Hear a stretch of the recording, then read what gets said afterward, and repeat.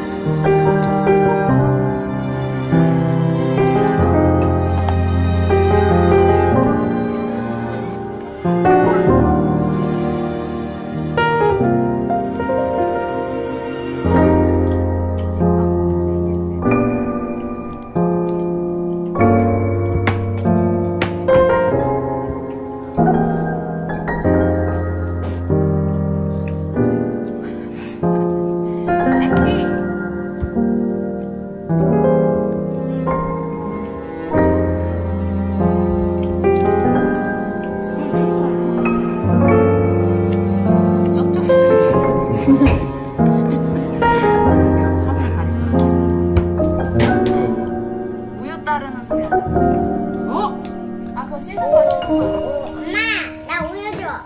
네.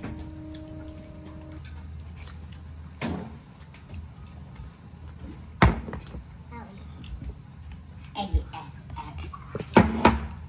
엄마 이렇게. 아니, 아니, 아니, 아니. 아니.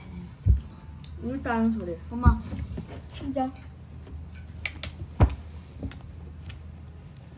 야, 아유, 진짜.